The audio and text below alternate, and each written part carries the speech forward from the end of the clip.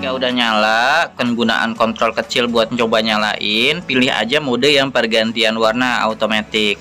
Di sini ada remote ya, on, auto untuk memainkan semua mode, ada 365 mode, off buat matiin. Ini kecepatan speed bisa diatur, mode untuk pemilihan mode manual ini dimmernya. Ya, kita bisa masan kalau seandainya kita tekan auto di sini, dia bakal main keseluruhan dari modenya, dari gradien, pergantian warna. Cuma kan terlalu abstrak ya ada 366 banyak banget ya ini kan ada speed nih di sini ada speed kecepatan jalannya tuh bisa diturun dinaikin kita turunin ya Nah, itu bisa diatur. Kamu nanti pilih aja di mode ini kamu turun ke jangan plus ya. Kalau plus nanti kebanyakan kalau turun ke sini di mode gradien. Ini satu warna putih. Tekan mode lagi ini pink satu warna.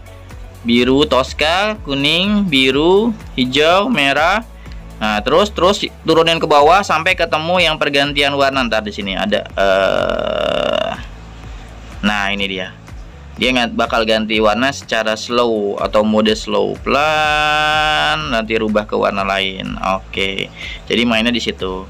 Kita juga bisa matiin dari sini, mati ya. Nyala. Nanti dia udah ngikutin sesuai yang sudah kita setting.